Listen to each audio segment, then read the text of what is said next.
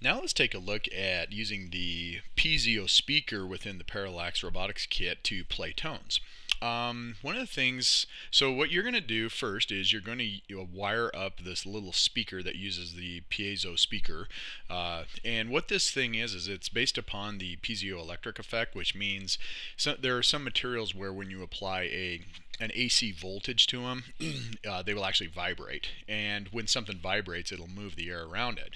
So we can use this to build miniature speakers. So what we do is we apply a voltage to it uh, back and forth, and we can vibrate this. And as long as we vibrate it at a frequency that's within our audible range, it the pressure waves created by that vibration will be interpreted as sound by our ears.